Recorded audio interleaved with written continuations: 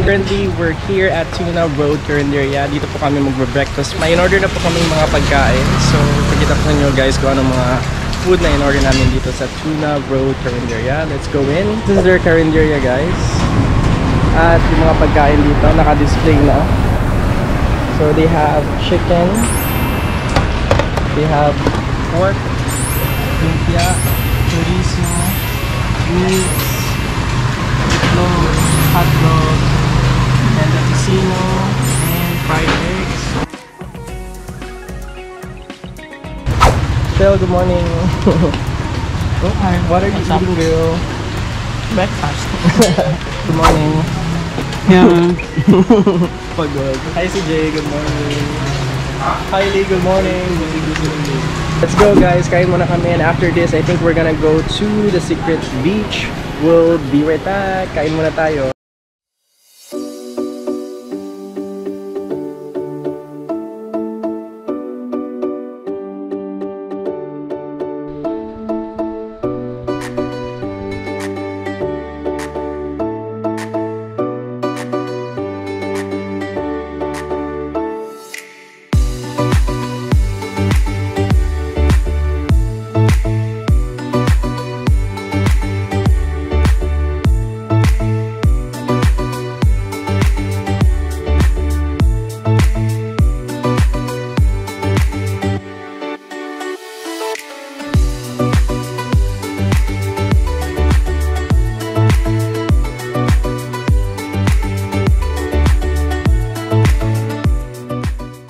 Finished eating our breakfast and right now guys we're currently waiting for our transportation going to the secret beach at same pa rin yung sitwasyon guys. The rain is non-stop. So super lakas talaga. ng hangin at ng ulan we don't have any other choice guys but to continue the tour we have to visit more places as possible. We'll be right back guys. And ito po yung itsura ng Siargao during rainy season. Not recommendable to go here during typhoon, monsoon, and during the December months. Anong story ng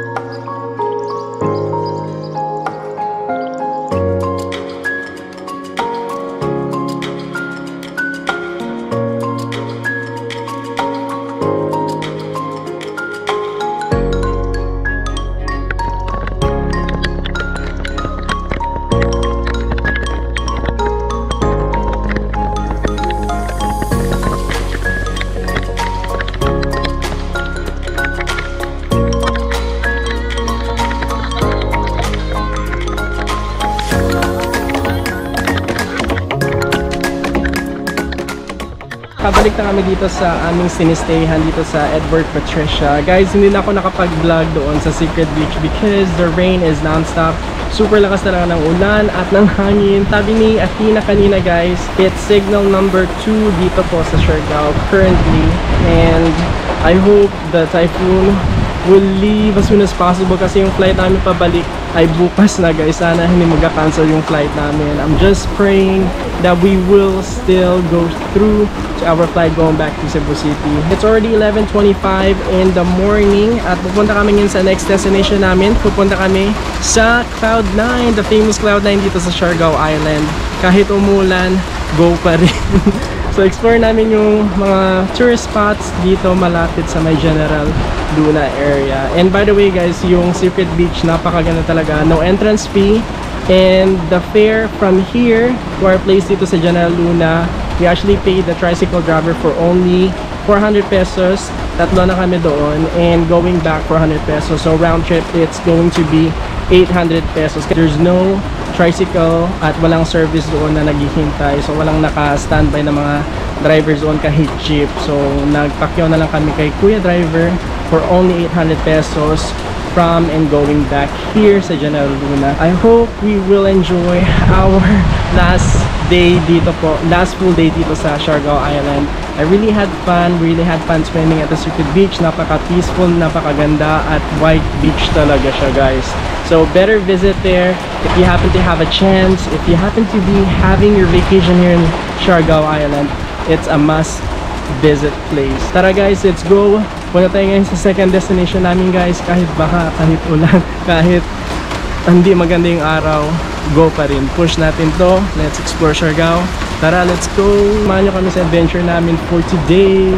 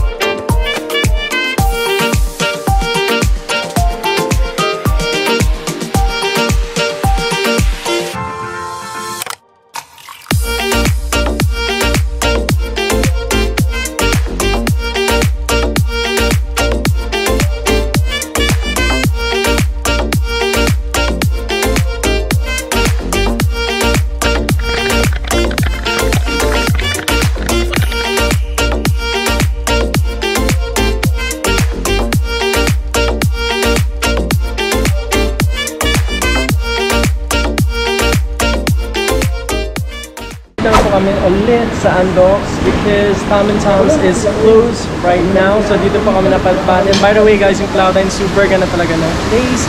Very well recommended. A must go if you happen to be vacationing here in Siargao Island. At same pa rin yung sitwasyon namin guys. Malakas pa rin yung ulan at yung hangin at bumabaha na yung mga kalsada dito. At pumapasok na yung tubig dito sa loob ng Andox guys. Yung mga pagkain namin guys, we've ordered the same food. So this is the chicken jumbo for only 300 pesos. And may binili kami lechon sauce for only 50 pesos from Andox. Meron kaming Coca-Cola na drink, baka naman. Hi Belle, kamusta naman yung food? Sarap ba? Yes, of course. Kamusta na yung food, Jones? Lamig. Five stars. Lamig kayo. Ikaw, Tina, kamusta naman yung food? Lamig kayo. Just like me. Ano kayo? Enjoy the food. This is their dining area. Yung counter area nandun po. At meron pa isang dining area doon banda. And this is the entrance. And ito po yung view namin sa labas ngayon. Babalik na kami guys, kakain muna kami. Let's go, let's eat, let's enjoy the food.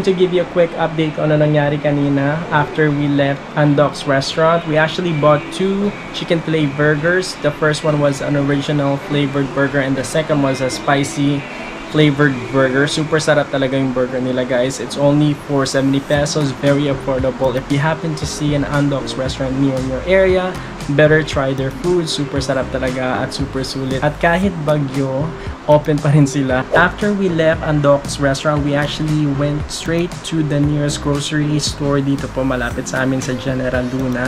We actually bought a couple of stuffs for dinner and as well as for breakfast for tomorrow because tomorrow is gonna be our last day here in Siargao Island. We actually had fun on our adventure here. Better visit Siargao guys, but don't visit here during monsoon and typhoon season and the December months. Kasi super pangit talaga ng weather guys. But the beaches here are amazing. Magaganda yung mga spots dito. I hope we're gonna go back here on this beautiful island during the summer days.